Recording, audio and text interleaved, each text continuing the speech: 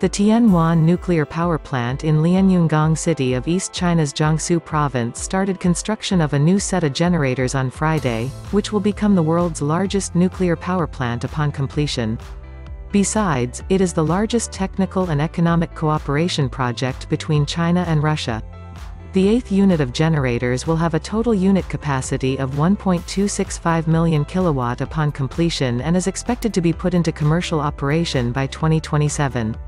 After construction, the new project will boost the plant's total capacity to more than 9 million kilowatt and will produce up to 70 billion kilowatt-hours of clean electricity annually, enough to power 100 million households for three months. That's the equivalent of 15 million tons of carbon emissions being reduced. It will be crowned as the world's largest nuclear power plant in terms of output once completed, with a safer and smarter operation. Tianwan nuclear power plant is a key testimony to China's carbon reduction commitment with carbon peaking and neutrality within preset timeframes.